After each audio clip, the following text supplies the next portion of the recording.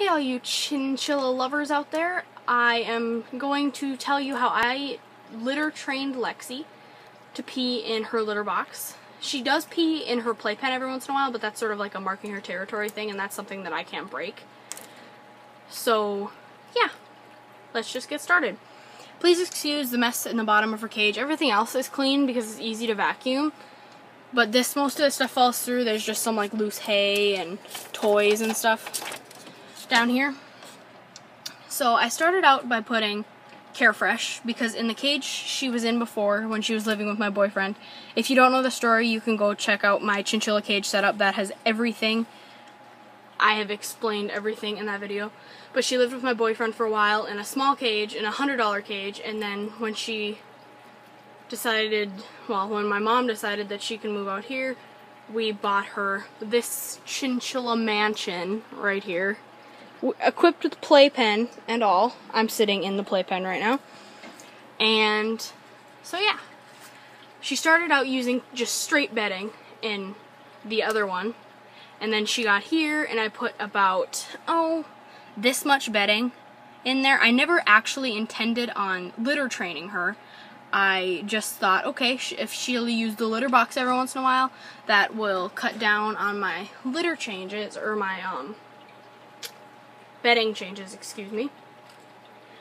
So yeah, I never intended on that, but it just kind of happened.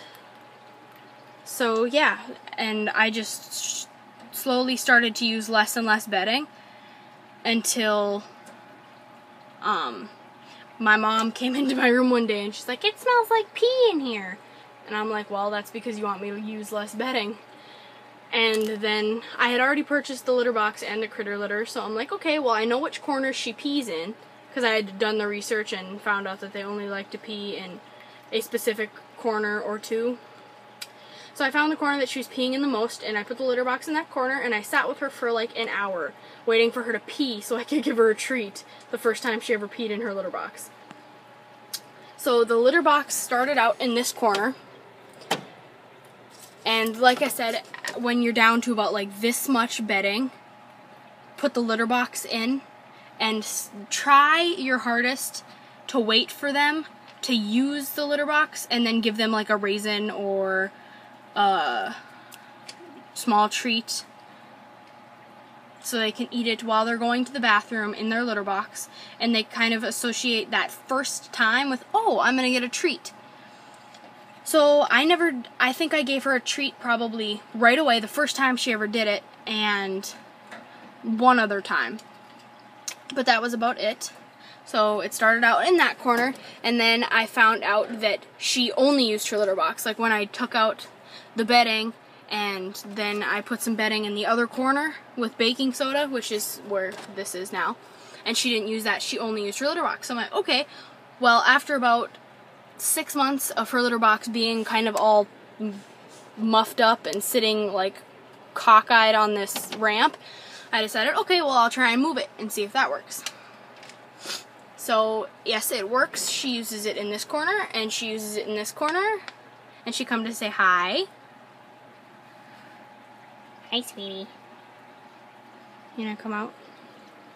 Nope, you don't want to? Okay. So then I moved it to this corner, and then I figured, okay, well, I'll try it next to her bed in this corner, and that worked.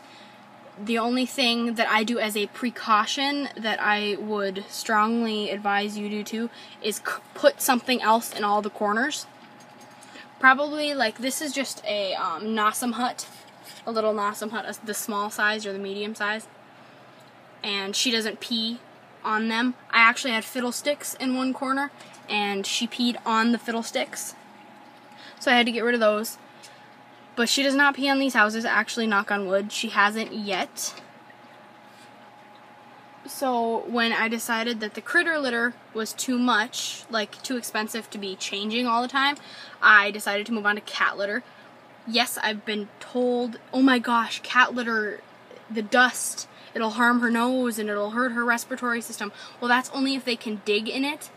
With this grate, she she doesn't get to the litter. You're just being really inquisitive. And I'm sorry this video is kind of all over the place. But if you listen, you can kind of understand, right? And if you have any questions, comment below and I'll answer those for you.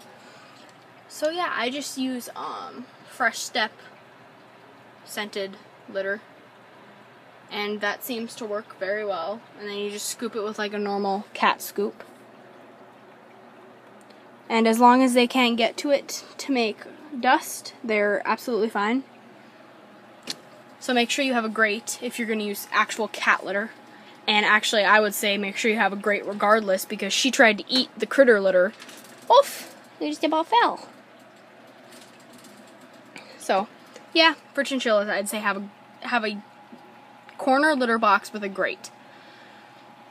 So, like I said before, I'm sorry this video is sort of all over the place. I wish I was more like planned with it, but I come up with them and I'm like, oh my gosh, I have to shoot them right now.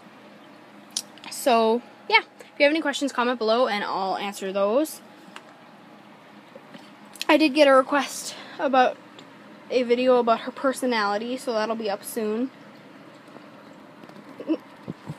She's giving you all kisses. Actually, she's just trying to chew on my iPod case. So yeah, I'm shooting this with my iPod because I don't have editing software at the moment. So when I get that, you'll get the cute little video of like all her pictures and paralyzer intro and all that fun stuff. So, yeah. So, thanks for watching and commenting. I had a comment. Oh, there she there's this is how she uses her litter box. And then she just kind of wipes her butt off and you can see where she used it. So yeah, personally, I like it. And I would recommend it, and I would recommend this way to train them too. And she likes to sit behind me. These are all of her toys and her playpen. Because she's a little munchkin. Don't chew on my pants? Oh, now you're getting mad at me? You don't want me to touch you? Don't want me to touch you? She's giving you all kisses slash trying to chew on my iPod case. Anyways, for like the third time, I'm gonna try and end this video without her doing something really super cute. So thank you all for watching, and please comment if you have questions. Comment if you have cute little.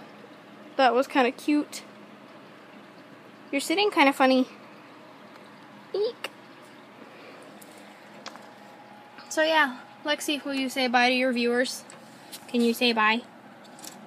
She says bye. Just kidding. You have to say bye to your viewers, Lexie. Bye.